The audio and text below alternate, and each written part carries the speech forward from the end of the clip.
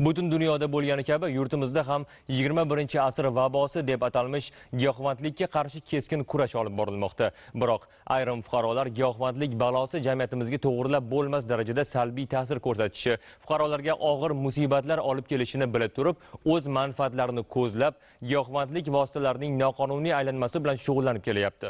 Mana shunday ishni o'ziga kasb qilib olgan shaxslarga mirzo ulug'bek tuman sudida hukm o'qildi.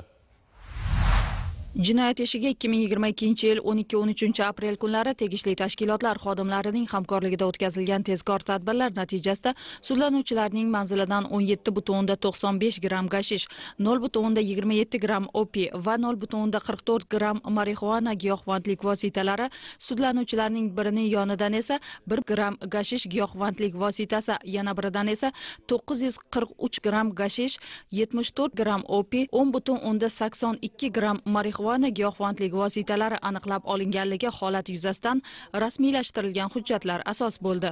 Beshta farzandim bor voyaga yetmagan. Otam o'tib ketgan olamdan. Aka ukam yo'q uyga boquvchiman. Arz emas ekan bu ulfatchiligi ham boshqasi ham. Pushaymonman chin ko'ngildan moshina oldi sotdi tijorat ishimiz bor edi.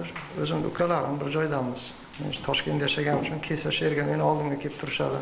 Bu narsadan o'zi uzoqlashaman deb yuruvdim. Ish faoliyatlarimdan shu ko'p orqaga ketib qolib ko'p boshimdan og'ir kunlar o'tkazib shu o'zim bilmagan holda shu narsaga o'rganib qolganmanda. Hammadan kechirim so'rayman. Xususan jinoiy sheriklar 2022 yil yanvar oyining oxirida tergov davomida shaxsi aniqlanmagan surxondaryolik tojik millatiga mansub bo'lgan parvez ismli tanishidan 400 grammdan kam bo'lmagan opiy va 300 kilogrammdan kam bo'lmagan gashish giyohvandlik vositalarini har bir grammini yuz ming so'mdan sotib olib ularni o'zining surxondaryo viloyatida joylashgan xonadonda saqlab kelgan.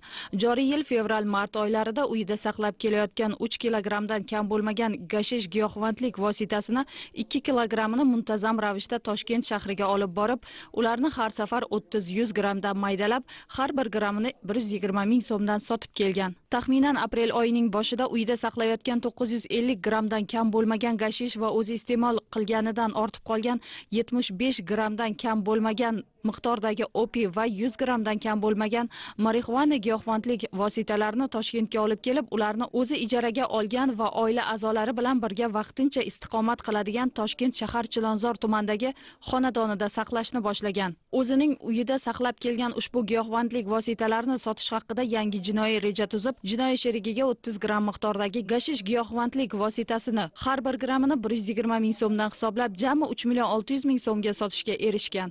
Ushbu jinoiy sheriklarga nisbatan sud hukmi o'qildi.